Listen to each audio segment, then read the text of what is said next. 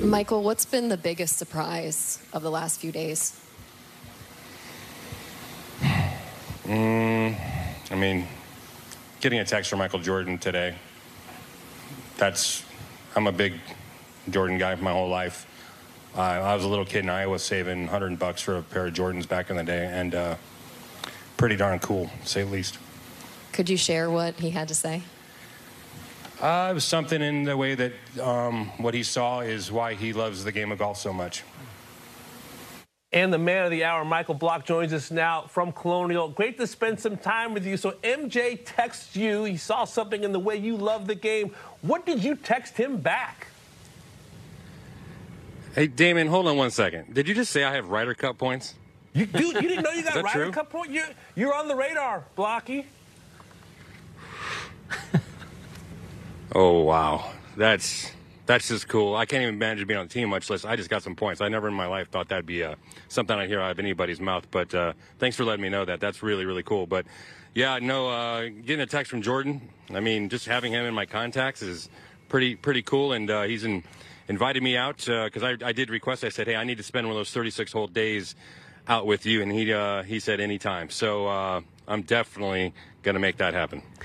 The rumour has it that a lot of people also want to get their hands on that seven iron you made the ace with, Michael. Is it for sale? And if it is, what's the price? The original uh, email that I got was thirty thousand um, dollars, and I kind of jokingly, half jokingly, said I'd hand deliver it for fifty.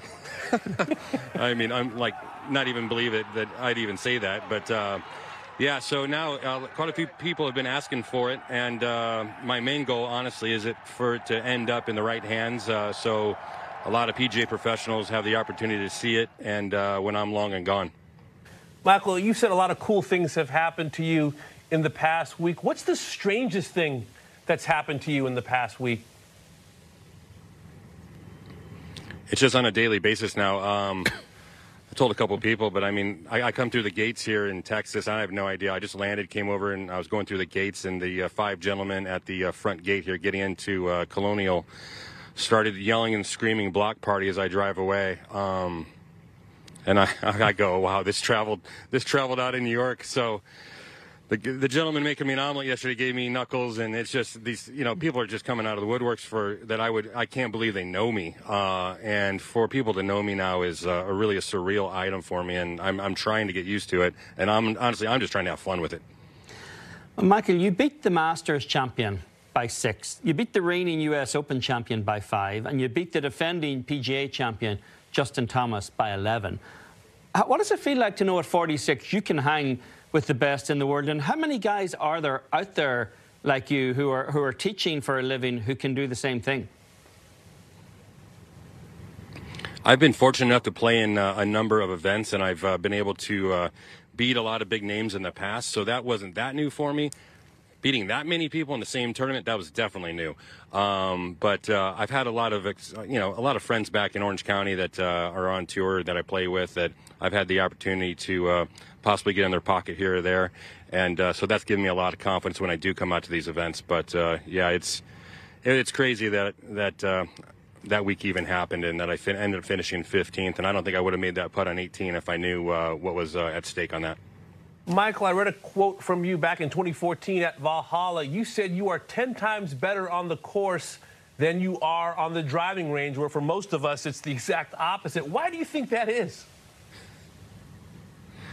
Focus, uh, definitely. I think it's full focus. Uh, how much I care on every shot. When I'm on the drive range, it's pretty lackadaisical. I'm not fully focused on a number. I like thinking 172, slight cut, stuff like that. When you're on a driving range, you usually don't. You know, you're hitting to a pin. You have no idea what the distance is. You're hitting out to the middle of a field, and it's just random hitting, which you know I don't think it's even effective. That's why I don't really practice all that much. One of my good friends, uh, Beau Hossler, out here, he he doesn't even putt. He's such a good putter that he realizes he's not going to get in his own way, so he doesn't even practice his putting. Um, I played a practice round with him for nine holes yesterday, and he, didn't putt one single ball, and will not putt until uh, today's pro am.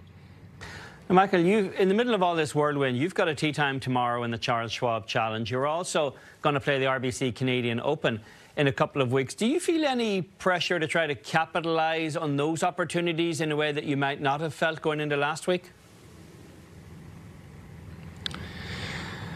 Uh, not so much. I just want to go out there and play my game. Um, I feel like I have a little added pressure this week that I need to go score well. Uh, you know, I don't know. I, I know everyone's rooting for me, but I know there's the haters out there too that uh, you know they want to see the club pro shoot a big number, and I'm, i definitely don't want to do that. I want to be uh, there for all the people that are supporting me and all, all the lovers that are out there for me. That I'm going to show them that that wasn't a, uh, a mistake or, a, or an accident that happened uh, last weekend at Oak Hill. So I'm looking forward to here at the Charles Schwab, Schwab Challenge, obviously, and then man, RBC uh, will be amazing up in Toronto. So I'm, I'm really looking forward to both. Michael, I think one reason people connect with you is because you play with your heart, you, you lead with honesty. You said something years ago that your perfect day was an off day at the club where you're playing nine holes with your, your young sons uh, at the club before the members came out. How often are you still able to do that with your busy lifestyle and schedule? Yeah, so what I've done over the last about two years, I actually got rid of a ton of students just to be able to do this because I knew time was going by so fast with my children. They were like 13 and 15, and they was going quickly. Uh, and so I'm like, I'm, I'm here teaching these people when I could be teaching my kids. So I got rid of quite a few members and students, uh, so I had that time at about 5 p.m. every night. The boys come over there to this day at age 18 and 16 every single day. I work with them, and then half the time they're like, "Dad, let's go play nine holes," and I'm just like, "I just want to go home," and I'm like, "You cannot say no." You cannot say no. This is, you got this opportunity in a couple years. You kick yourself in the butt for saying no. So I always say yes, and they get me on the golf course a lot more often than I used to, which I think is really uh, trans- transferred over to my play out here. You've got a pretty awesome date with your son coming up in a couple of weeks. Both of you guys in final qualifying for the U.S. Open. How much are you looking forward to that one? Yeah, so uh, that might have changed slightly in the way that the USGA contacted me this morning and offered for me to go to the Canadian site, which is on the Monday during the RBC, so I can uh, don't have to fly overnight on Monday night to get there. Uh, so it looks like the two blocks will not be in the same sectional at Hillcrest, which is too bad. But at the same time, now that opens up another spot in my mind for him, or or vice versa. So. Uh, that's okay. If we get two blocks, we can t- get one from uh, out of Canada and one out of uh, Cali, and uh, all meet at LACC. Oh, that would be quite the story. Hey, Michael, New York and Texas don't agree on much, but clearly they're united in their love for Michael Block. Have a great week at Colonial. Best of luck. Thank you so much. Yeah, both states have the best people I've ever met, man. I'll tell you what.